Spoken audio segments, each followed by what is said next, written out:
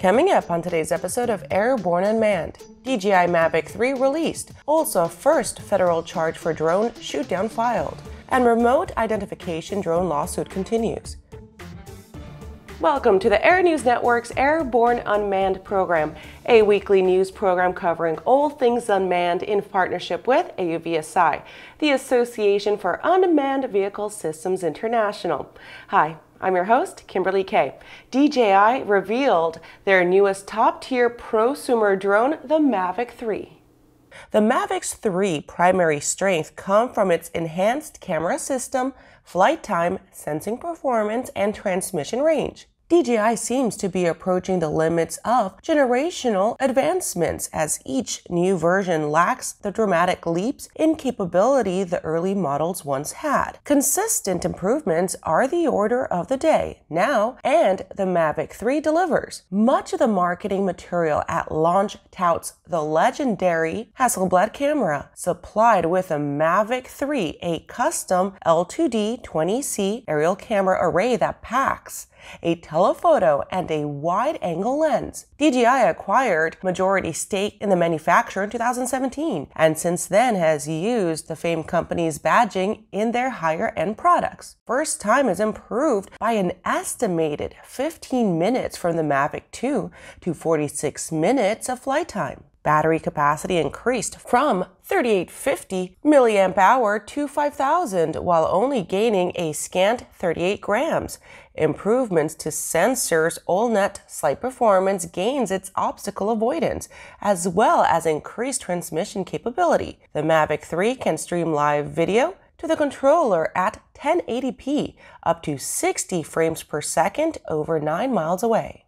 Coming up after these messages, a drone attack on an Iraqi prime minister. More on that after the break. Whether you're charting a steady course or pushing for the ceiling, Hartzell Propeller has been elevating flight for over 100 years. It's in our passion for engineering and research. It's in our dedication to testing the limits of performance and creating propellers that are as safe as they are sexy. Now, together with our dedicated family of companies, we're propelling the future of aviation. We are Hartzell Propeller, built on honor. Are you ready to ace your FAA drone pilot knowledge test, get your remote pilot certificate, and start earning money? Well, flying a drone is a great tool that can open up new business opportunities for anyone.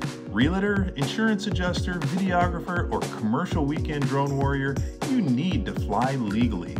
Whether you're pursuing your initial Part 107 remote pilot certificate or you need a renewal, King Schools has a course just for you. So start learning today at kingschools.com. I believe that if people use the landing doctor training program, they will have less accidents and eventually their insurance will go down and they will make a superior pilot. We do personal limitation checklist, which is the most important reason you need to fly with limits. We do ground proximity awareness training, and we do this with a crosswind. We've been operating six Bristows for two years without one insurance claim. The Landing Doctor program is working, and you're going to hear more about it. Welcome back. In the next Unmanned Minute, let's take a brief look at a few of the shorter stories that are making the rounds of the unmanned vehicle communities. He had luck on his side. Iraqi Prime Minister survives drone attack unmanned aircraft have chalked up another unfortunately historic milestone as an attempted drone assassination of Iraq's Prime Minister Mustafa al Kadhimi was thwarted in the early morning hours of November 7th of this year. The attack is said to be a major escalation in the dispute with Iran backed militias over recent parliamentary election results that lost an opposing party dozens of seats. It may be the first credible assassination attempt made with an unmanned aerial system. Embraer announces an Energia aircraft family concept. Embraer announced its new family of sustainable concept aircraft as it seeks to prepare for industry, world, and company goals of decreasing carbon emissions. The move will help set the stage for Embraer's target of achieving net zero carbon emissions by 2050. To support the range of new aircraft, the company has partnered with a number of engineering universities, aeronautical research institutes, and other technologies to incorporate and develop new technologies. Advanced Air Mobility to get Federal Working Group. The U.S. government has begun laying the foundation for the advanced air mobility ecosystem, with a bill progressing through a House and Senate with bipartisan support. The proposed Advanced Air Mobility Coordination and Leadership Act would call upon the Transportation Secretary to create an interagency working group to coordinate the development of future AAM policy, infrastructure, and legislation before widespread adoption of eVTOL aircraft begins. Skydio Axon launch integration with Axon Evidence. Drone manufacturer Skydio has completed the initial access steps for public surface UAS operators to integrate Axon's digital evidence management platform, designed to allow for easy, simple transfer of photos and videos into the Axon Evidence program. The partnership simplifies the work of data stewardship and curation when using drones for evaluation or recording. Agencies currently using Evidence and Skydio drones can apply to participate in the early access program, with widespread availability expected in the coming months.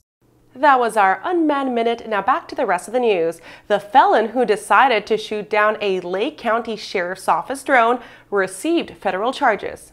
What may be the first time charges have been filed in such circumstances, the Lake County Sheriff's Office has brought federal prosecution for an unmanned system shootdown. The accused was able to bring down their small drone with two well-placed shots of .22 caliber long rifle, for which he now faces federal charges for interference with the operation of an aircraft. In July of this year, law enforcement responded to a burglary call at a property in Mount Dora, Florida. In order to surveil the property, they deploy their drone to begin searching searching the expanse, only to see it quickly drop to the ground and catch fire. The man inside a nearby building believed the drone had arrived to harass him and fired two rounds from his rifle, immediately downing the small aircraft. Deputies approached him where he readily admitted to the act, believing he had done nothing unlawful as the recipient of drone harassment. Unfortunately, the 29 time felon's opinion was an error as well as his possession of a firearm, quickly landing him into the deputy's care. The accused now faces a rare charge and, in some ways, a landmark crime, being charged for his anti drone actions under the same statute as a full size manned aircraft. After the break, remote identification drone lawsuit continues. Details after these messages.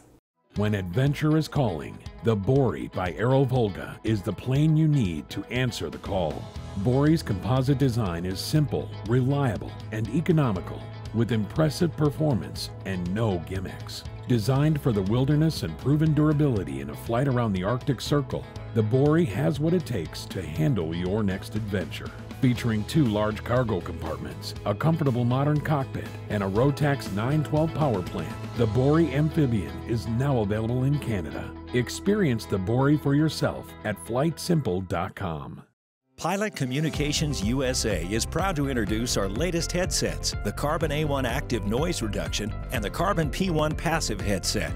Carbon fiber makes our headsets 30% lighter than others, which significantly reduces pilot fatigue. Our BlueLink hand control unit allows you to connect two devices at the same time, and the record out capability can send audio to an onboard camera or digital recorder. Get the headset that's so light you may forget you're wearing one at pilot-usa.com. The Zephyr is what you have always wanted.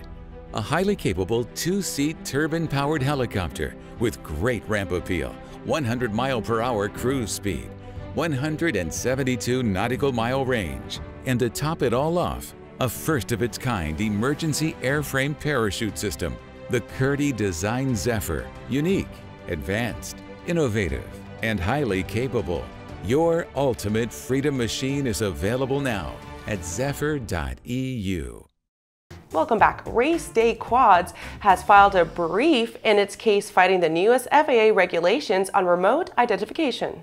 In 2019, the agency proposed and weeks later published a rule requiring future drones and unmanned aerial systems to come equipped with identification broadcasting. Under the new rules, any drone operated without the designated ID reporting would not be airworthy, with the only exception for flights within specially designated airspace, only available for select organizations. Drone pilots sought to halt implementation and broker a deal that would allow their equipment to remain airworthy. On behalf of the drone industry, RaceDayQuads filed suit against the FAA to address the shortcomings it sees in the rulemaking process. Firstly, they argue that the rule infringes upon a reasonable expectation of privacy, that small drone operators are subjected to a warrantless search of their personal movements and property. The unlimited duration and scope of tracking data could be construed as a Fourth Amendment violation in some form, as that information has no guarantees of privacy or stewardship. They also allege that the final rule was not a logical outgrowth of the notice of proposed rulemaking, appealing that the process was completely detached from the public comments and open stakeholder consult.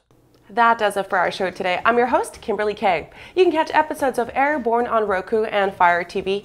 Just search for Aero-News or Airborne in the directory, and don't forget to follow us on social media. Thanks for watching.